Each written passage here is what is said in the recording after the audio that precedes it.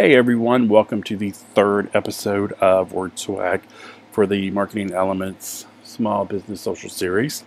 Um, so today I'm going to teach you something that's really cool with this, this app.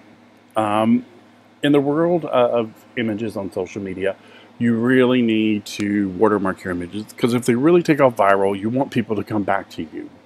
But you also want a, a watermark that's not going to make the image so crazy people don't want to share it. Because we've all seen those watermarks that are like blatant right over the center of the image and it's crazy and you're just like, it would be a good picture if that wasn't there. So, in the last iteration that they did of WordSwag when they updated, they introduced the watermark image, which is amazing. So, I'm going to show you how. I'm going to go I'm going to show you how you can do it two different. You can either do it from the main window or you can go do, I'm going to show you once you get done with an image. So go to favorites. We're going to go to our image. We'll go back to the image we used before, the uh, sandwich. We're going to crop it. So here's our image. We, we're just going to leave that on there. I'm not going to change it. We're going to click Done.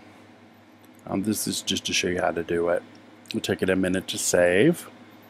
Um, once it saves, we'll go back in under the, you can do two different watermarks. So, save your camera, add logo or, or watermark. So if you have a logo that's a picture, you can put it on your iPad or your photos or your Android, well, it's not Android, but on your device, and you can use that to watermark your images. Really cool. Super simple.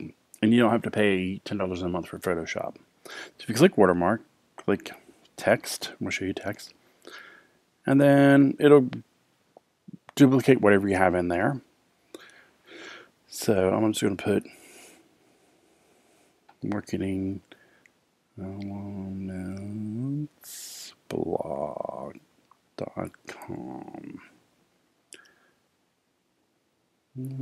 done. Save and closes right there. It'll give you this when you do a watermark that it's too short, but don't worry about that. Just click continue or don't remind you again. Um, so here's your watermark.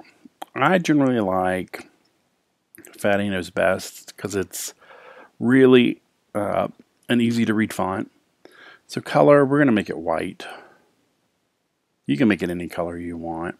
And then I'm going to pinch it, resize it, you can turn it any way you want to. So if you want to turn, you can go just drag your fingers wherever you want it. So do you want to put that in the corner or wherever you want it? It can be at the top, the side. And then what I do is grab the transparency and sort of just go at least 50%. So you know it's visible but not really visible. And then you can just move it where you want it. And then that's your watermark. So if people see your image, they'll know where it came from and they can go visit you. Um, you like I said, you can put your image. Once you're done, it'll save it. The only thing I don't like is if you're going to watermark it, it already saves it. So you're going to have two different versions of the same image. So I suggest the first one you just go and delete and then keep the second one. But once you're done, saves it. Bam, you're done.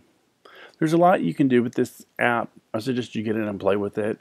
Um, you can share quotes, you can share a ton of different things with this, create amazing stuff, and people think you did spent hundreds of dollars on your uh, images. So, so yeah, go try it out. It's in the App Store for $3.99. It's a little pricey for most people, but once you get it and play with it, I think it'll pay for itself in no time.